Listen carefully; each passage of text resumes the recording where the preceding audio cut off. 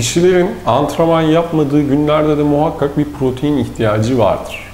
Yağ yakmak isteyen veyahut da kas kazanmak isteyen birisi arasında hiçbir fark yoktur bu anlamda. Muhakkak ikisinin de bir günlük protein ihtiyacı vardır. Antrenman yaptığı gün de alması gerekiyor. Antrenman yapmadığı gün de muhakkak bir protein ihtiyacı vardır. Ve bunu temin etmesi gerekiyor ki kişi kaslarını daha iyi hale getirsin, metabolizması hızlansın ve amacına ulaşsın. Aksi takdirde atrofi dediğimiz yani kasın kendini yiyerek protein ihtiyacını karşılayacağı kas küçülmesi durumu meydana gelecektir.